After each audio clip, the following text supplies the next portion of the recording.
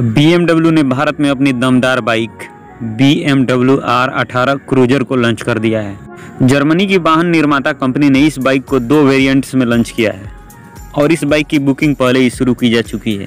इस बाइक को आप एक लाख रुपये का टोकन अमाउंट देकर बुक कर सकते हैं तो इससे जुड़ी सारी जानकारी इस वीडियो में मिलने वाली है आपको। तो बने रहिएगा इस वीडियो में लास्ट तक। इस वीडियो में हम इस बाइक की कीमत के बारे में भी बताएँगे। इसलिए इस वीडियो को स्किप मत कीजिएगा। कंपनी ने इस मोटरसाइकिल की दो वेरिएंट भारत में लॉन्च की है। एक स्टैंडर्ड और दूसरा फ़र्स्ट एडिशन यह मोटरसाइकिल को भारत में पूरी तरह से निर्मित इकाई के रूप में आयात किया जाएगा। इस बाइक में गोल हेड लैम्प चौड़ाई handle bar chrome exhaust pipe और स्पोक व्हील जैसे कई रेट्रो स्टाइलिंग एलिमेंट्स हैं। आर अठारह का यह स्टैंडर्ड मॉडल पूरी तरह से काले रंग का है, जबकि फ़र्स्ट एडिशन में सफ़ेद पिन स्ट्रिप और क्रोम मिलता है।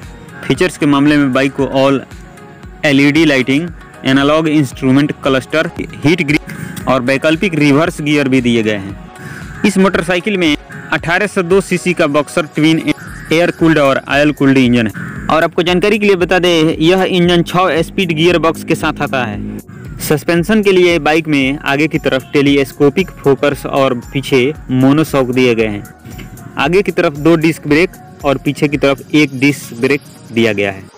भारत में बी एमडब्ल्यू आर अठारह क्रूजर की नाम से इस बाइक को आधिकारिक तौर पर लॉन्च कर दिया है। इसकी शुरुआती कीमत अठारह लाख नब्बे हज़ार रुपये रखी गई थी, लेकिन जब इस मोटरसाइकिल की दो नई वेरिएंट स्टैंडर्ड और फ़र्स्ट एडिशन आई तो उसके बाद से इसकी कीमत इक्कीस लाख नब्बे हज़ार रुपये रख दी गई है।